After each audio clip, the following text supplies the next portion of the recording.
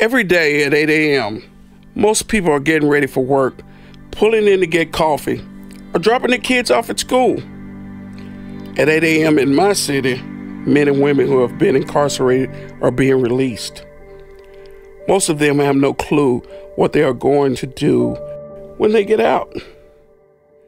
No driver's license, no food, they've burned bridges with families, and no ride to a safe place. I was once one of them, nowhere to go.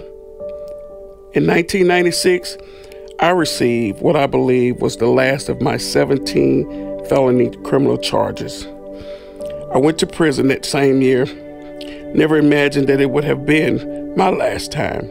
I had been in and out of prison and jail time and time again. I couldn't imagine another way of living. For most of my prison time, I saw myself as simply a drug addict, a convict. Once you label yourself just as a criminal addict, it takes an enormous amount of time and effort to turn that belief system around. It wasn't until one day I found myself on their side of the fence in treatment that I understood my life could change. As convicted felons, we have hurt people because of our actions. There are victims of crimes, there are families, society, and our own families.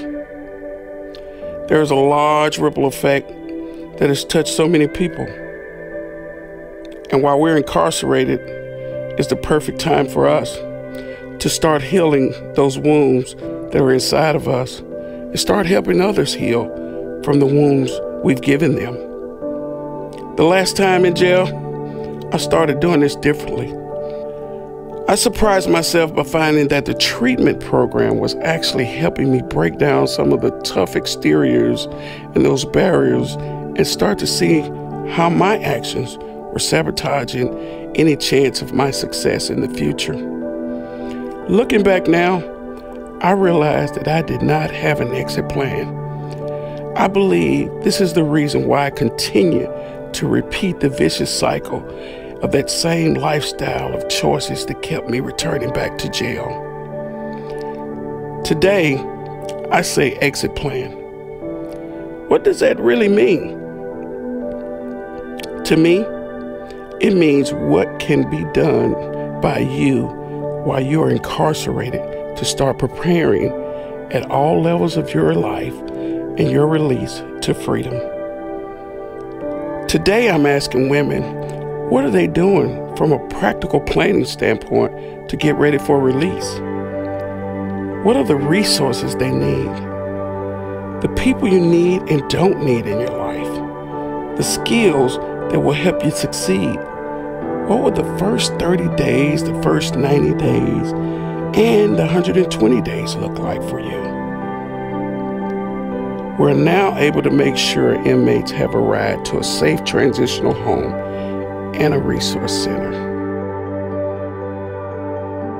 20 years later, I look back on those days in jail and in a halfway house, and then at my life afterwards that was focused on sobriety, living with honesty, and regaining trust in my close relationships. I knew how to sell drugs, but I did not know how to live without them. I had to learn what that life looked like. I made it through those dark days, and I believe that you can too. We all can heal from our past and create a new life of meaning. I believe in you.